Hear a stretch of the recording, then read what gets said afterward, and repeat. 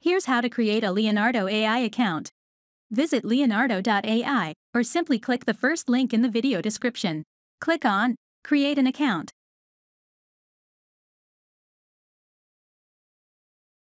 You can sign up with an Apple, Google, Microsoft account or enter your email and password. In this example, I'll sign up using a Google account.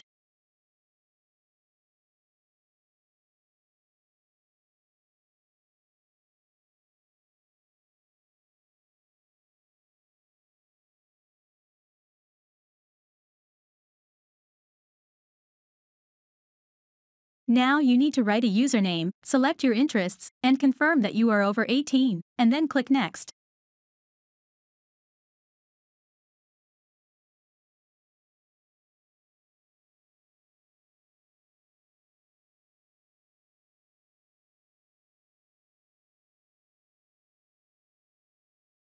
After that you will need to select a role that best describes you.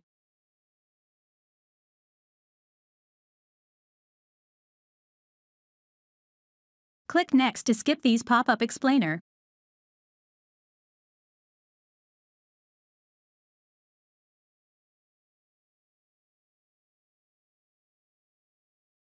Now your account is ready to be used. Thanks for watching. If you have any questions, please don't hesitate to leave them in the comments section below. If you're interested in learning how to use Leonardo AI, check out this video. I'll see you there.